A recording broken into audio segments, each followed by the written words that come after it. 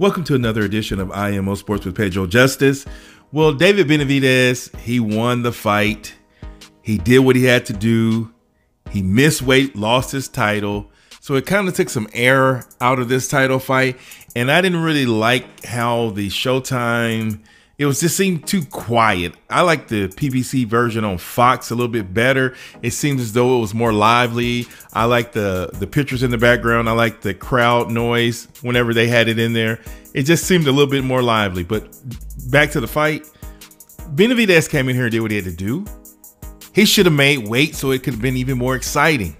He hit Angulo with everything he needed to hit him with. I wish maybe three rounds earlier he would have just sat down on his punches and did what he did in the 10th round. If he would have did that earlier, he could have got Angulo up out of here quicker than he did. But I think he was pacing himself. He was making sure that he didn't get hit with anything silly. And so by doing so, he was able to break Angulo down. Angulo, he he I mean he's a tough guy. Let's just say he has heart. He came in here, he did what he thought he could do, but it was not enough.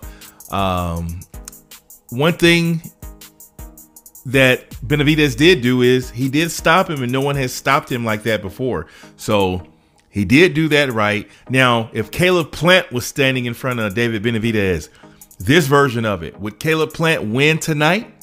Some say that he probably would win tonight. Some say no, David Benavidez would have won. Caleb Plant would have been sharp. He wouldn't have allowed him to rest. He would have pressed him and it would have been a completely different fight. But because he lost the belt, got stripped by coming overweight, we will not know this until sometime. Hopefully next year, we'll see. What do you think about David Benavidez's performance? Do you think he did enough or do you think he could have done better? Let me know what you think until next time. It's Pedro Justice.